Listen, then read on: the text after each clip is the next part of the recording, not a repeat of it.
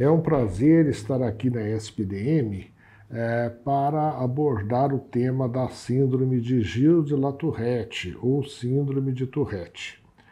Nós sabemos que a síndrome de Tourette é caracterizada pela ocorrência de múltiplos tiques, tiques motores e verbais também, concomitantemente. O que, que são tiques? Tiques são movimentos involuntários é, que se repetem à revelia da vontade da pessoa, embora a pessoa possa tentar suprimi-los em algumas ocasiões. Esses movimentos é, podem ser desde tiques simples, a exemplo de piscar o olho, é, tossir, virar o pescoço, é, mexer no nariz, na orelha, e também tiques verbais. O tique verbal também pode ser simples, como por exemplo limpar a garganta, pigarrear ou falar palavras isoladas, até chegar a gritar ou mesmo a falar palavrões contra a própria vontade, ou então repetir as próprias sílabas do discurso, o que se chama de palilalia. Né? Às vezes repete o que o outro fala, ecolalia. Então, essa síndrome é muito constrangedora para os pacientes, porque eles se veem na contingência de exibir os tiques, muitas vezes em público, numa sala de aula, por exemplo, contra a sua vontade, porque a pessoa só tem um controle limitado sobre os tiques. A pessoa até consegue suprimir por algum tempo os tiques. Eu me lembro de um paciente que tinha vontade de fazer os tiques estando na sala de aula, aí ele pedia para a professora licença para sair da classe e uma vez fora da classe ele é, fazia uma série de tiques em voz mais ou menos alta e depois voltava para a classe. Mas nem sempre a criança consegue esse domínio.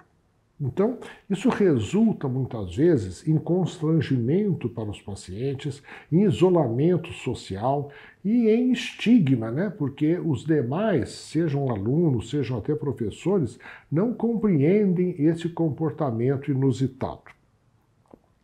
Geralmente, a síndrome de Tourette começa na infância, né, entre os 4, 6 anos de idade, e segue um curso evolutivo, no sentido de maior gravidade, até a adolescência.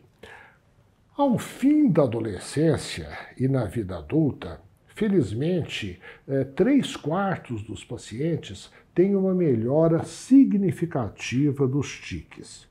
E em um terço dos casos, aproximadamente 30% dos casos, há remissão completa dos sintomas. Então, ao contrário do que se pensava originalmente, né, a síndrome de Tourette foi descrita no fim do século XIX.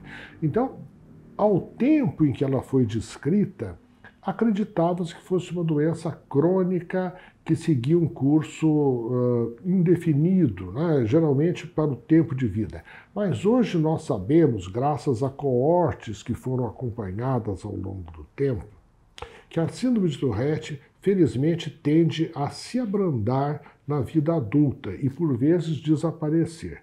Mas isso não é o que acontece em todos os casos. Muitas vezes a persistência dos sintomas na vida adulta, embora geralmente algo mais ou bem atenuados.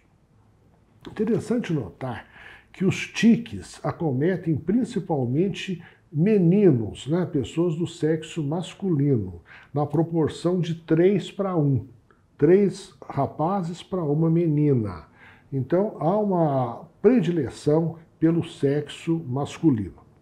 E é preciso lembrar que os tiques começam originalmente na forma de tiques motores e seguem uma direção é, rostrocaudal. Isso quer dizer que, em, em primeiro lugar, os tiques acometem a região ah, do rosto, da face, e depois vão descendo as mãos, as pernas, né? vão na direção da cabeça até os membros inferiores. E os tiques motores costumam preceder em um a dois anos o surgimento dos tiques vocais. Os tiques vocais também começam originalmente com sons como de limpar a garganta, eh, barulho com o nariz, para depois evoluírem muitas vezes para palavras, gritos, né? e, e, e tiques então mais complexos. Eu me lembro de uma paciente, essa adulta, né? para quem os sintomas não remitiram, que ela tinha o, o, o, os tiques de bater na cabeça, né? ou bater palmas e emitir gritos, né? o que realmente implicava para ela num isolamento muito grande, as pessoas não queriam chegar perto dela, encaravam aquilo como loucura e não era nada disso, né? A pessoa era lúcida, ela simplesmente dizia: "Eu não consigo controlar esses tiques". Eu me lembro que há cerca de uns 20 anos atrás, no nosso ambulatório de transtorno obsessivo compulsivo, nós tratávamos também a síndrome de Tourette.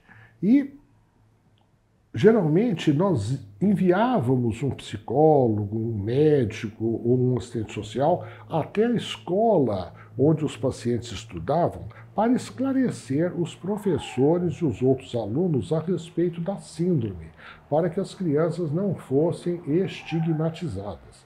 Hoje, felizmente, já existe uma compreensão melhor da síndrome de Tourette. O que, que origina a síndrome de Tourette? Geralmente são fatores hereditários né, uh, que determinam alterações uh, da fisiologia do, do córtex pré-frontal, suas ligações com o giro do símbolo, com os núcleos da base e com os núcleos talâmicos. Geralmente, o tratamento se baseia em duas vertentes. Terapia comportamental para ajudar a pessoa a controlar os tiques e, quando necessário, alguns medicamentos. Os medicamentos mais eficazes para esse tipo de tiques são alguns neurolépticos, né? A exemplo da risperidona, a exemplo, é, além da risperidona, é, outros medicamentos como o aripiprazol, poderíamos citar vários neurolépticos que têm é, essa ação mais incisiva sobre os tiques motores e vocais. Como eu falei, com o evoluir da idade, muitas vezes os tiques se esvanecem naturalmente e muitas vezes nós podemos depois é, ao fim da adolescência, início da vida adulta, nós conseguimos retirar as medicações. Eu queria lembrar a importância das comorbidades né, com a síndrome de Tourette, outros quadros psiquiátricos que costumam acompanhar a síndrome de Tourette. Claro que existe uma taxa maior para essas crianças e adolescentes, e mesmo adultos, de depressão e ansiedade. Mas, além disso, cerca de 30, 40 ou até mais, 50% dos casos podem ter sintomas obsessivo-compulsivos. Então, quando há essa coexistência de tiques com sintomas obsessivos, é importantíssimo nós tratarmos ambas as condições.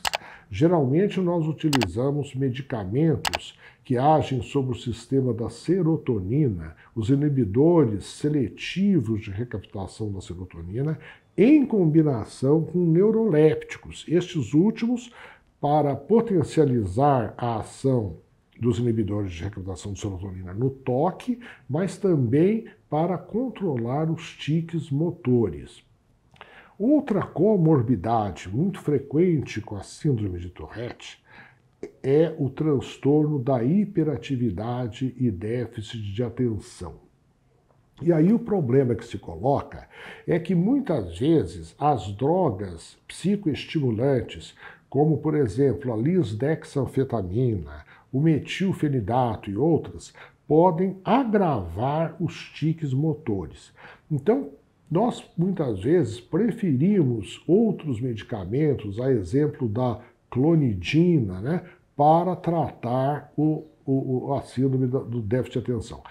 Em alguns casos, a gente pode sim, com cuidado, usar, uh, nós temos usado principalmente o, o metilfenidato fenidato em dose baixa para tratar o transtorno de uh, hiperatividade e déficit de atenção nesses pacientes. Em alguns casos mais graves, existem eh, doenças do neurodesenvolvimento acopladas que implicam em prejuízo da escolaridade, mas isso não é a regra. Muitas vezes os pacientes com a síndrome de Tourette são bons alunos, são inteligentes e trabalhada a síndrome, eles são sociáveis e afetuosos, né? mas é muito importante que os professores e os colegas sejam instruídos a respeito da natureza, muitas vezes incoercível, né? com que os tiques se apresentam. Eu digo isso porque numa certa medida, os tiques são controláveis. Por exemplo, numa festa, por exemplo, a pessoa consegue por algum tempo controlar os tiques, uma hora, duas horas, mas depois a pressão aumenta e a pessoa dá um jeito de eh, sair do ambiente ou ir para um banheiro e lá ela faz os tiques. Isso é importante porque alguns médicos eh, julgavam que os tiques fossem incontroláveis. Eu já recebi pacientes dizendo: ah, mas o meu clínico falou que não é síndrome de Tourette, porque quando eu me esforço eu consigo controlar os tiques por algum tempo. Isso é, na verdade, uma característica que contribui para o diagnóstico da síndrome de Tourette. A pessoa não fica totalmente à mercê dos sintomas, mas consegue, com esforço, controlá-los por algum tempo. Né? Não totalmente, porque existe uma urgência, muitas vezes, que precede a execução dos tiques. Né? A pessoa se sente, por exemplo, como se fosse um formigamento nas mãos até que ela realiza os tiques, por exemplo, de é, pegar objeto ou mexer nos óculos e assim por diante. Então, a síndrome de Tourette é uma síndrome que se situa realmente na fronteira entre a neurologia e a psiquiatria. Ela precisa ser compreendida, os pacientes podem vir a sofrer muita discriminação em função dos sintomas e ter problemas na sua socialização. Então é muito importante o papel da psicoeducação para os pacientes e para as suas famílias. E eu lembro que em boa parte dos casos, os tiques melhoram com o evoluir da adolescência e início da idade adulta. Não é? E por isso mesmo, medidas como a cirurgia, né? houve um tempo em que se fazia, a, preconizava a neurocirurgia para esses pacientes. Na maioria das vezes, nós procuramos evitar ao máximo esses procedimentos mais invasivos, como a DBI, Deep Brain Stimulation, estimulação cerebral profunda e outros, porque a história natural já mostra que a doença, em muitos casos, melhora com o evoluir da idade. É, então, o prognóstico não é sempre sombrio. Não é? Muitas vezes os pacientes tendem a melhorar até espontaneamente. E quando persistem os sintomas da vida adulta, mais geralmente eles costumam ser benignos. E há medicamentos, como eu falei, risperidona, aripiprazol e outros que controlam bastante bem os tiques quando é, estão bem indicados, juntamente com a psicoterapia comportamental. Muito obrigado.